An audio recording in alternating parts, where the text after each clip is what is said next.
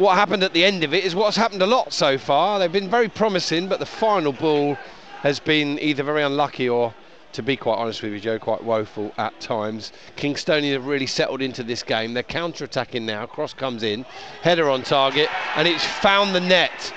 It's found the net, Joe, and it's the number seven, Daniel Ajakaiye. It's a counter-attack goal, but the, Kings, the Kingstonian probably deserve it on the way they've settled into this game. On 37 minutes, Jacob Berkeley Agyepong, prior to that a couple of times, had gone close for the shots. But as we approach half time, eight minutes plus added time to go, it's Aldershot Town nil, Kingstonian one. At some point soon. But uh, he was certainly taking on board instruction in his ear not too long ago. Eastleigh 3, Enfield nil. Other teams elsewhere are making light work of lower level opposition. Not so Aldershot Town. It's not in their DNA, is it? Oh, there's a turn inside the box and the goal. Would you believe, out of nowhere, Ollie Cook turned the wrong way.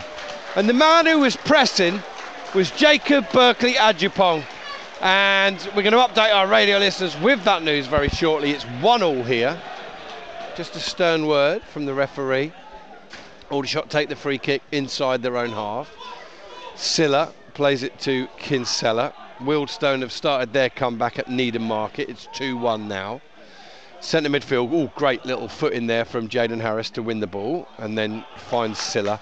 What a pair those two can potentially be in the National League this season.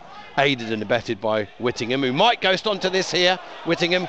Oh, it's an own goal! It's an own goal!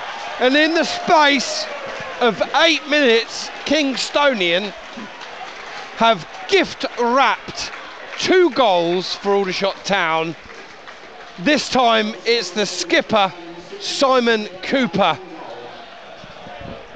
Oh, I can't possibly think, Rob. Who do they play next? I'm not too sure. Kinsella, free kick, steps up, blocked. No goal today for Kinsella.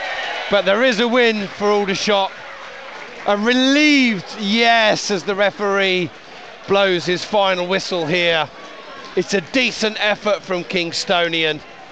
They'll look back at the two horror goals they conceded and wonder how they managed to uh, throw away a winning position. Something Aldershot have had to do themselves in the past, but the final score here Aldershot Town 2, Kingstonian 1. Matt, collect your. Are you in with a shot? Look below for more information. Click here for the next video, click here to subscribe.